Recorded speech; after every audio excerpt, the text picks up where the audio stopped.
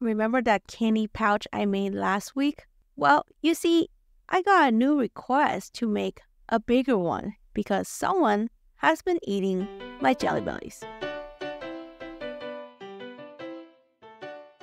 Turn him into four different style of bags. Not him, this one. So here is the game plan. Okay, maybe you can't see that. Me start over. The plan. There will be two pieces of fabric and one zipper. And then we can somehow turn that into four different style of pouches. First one will be a triangle, then we have a popcorn, a flat box, and a tall box.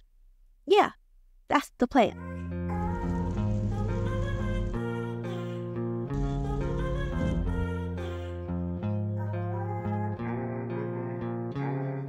For the sake of simplicity, all rectangles will be 6 by 12 and we gotta use SF101.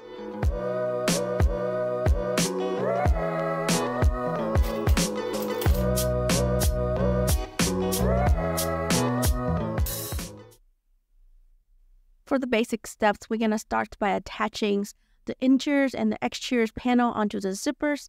I found that sewing tapes is the best way to temporarily hold these fabric in place.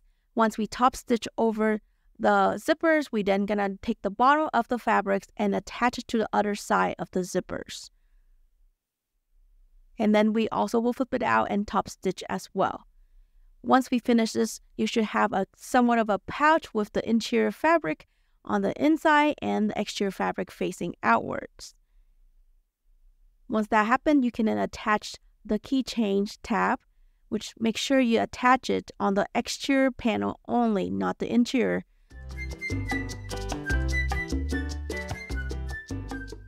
I finally finished all the three other pouches. For the triangle pouch, take the bag you already made in the previous basic steps, invert it inside out. Mark the center point. Fold both panels towards the zipper like an accordion and then give it a little stitch on one side then on the opposite side, spread it out and align it, give it a sew and make sure you leave a gap so that you could turn the bag right side out.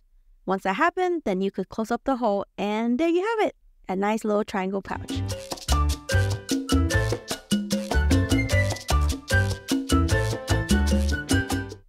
The popcorn pouch is one of my favorite and to make this pouch, what you need to do is flip the pouch inside out so that the exterior panel is inside the interior panel.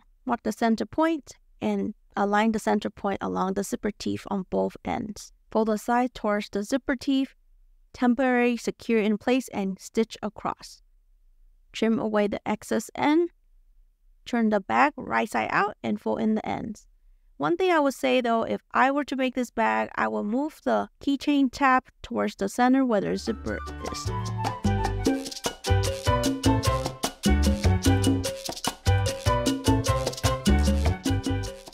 To make the flat box, turn the pouch inside out so that the interior is on one side and the exterior is on the other side. Cut the bottom of the interior panels, then sew it but leave a gap so that you could turn the back inside out later. Now take both bottoms and fold towards the zipper teeth like an accordion. Sew the ends.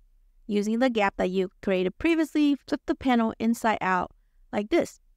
Box the corner, then turn it right side out. Now you have it, a flat box. Although one change I would make to this pouch is that I would move the keychain tab closer to the zipper.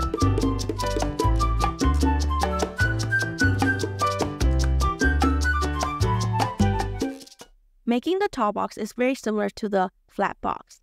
The only difference is that once you turn it inside out, you want to close up that gap. Then you turn it right side out.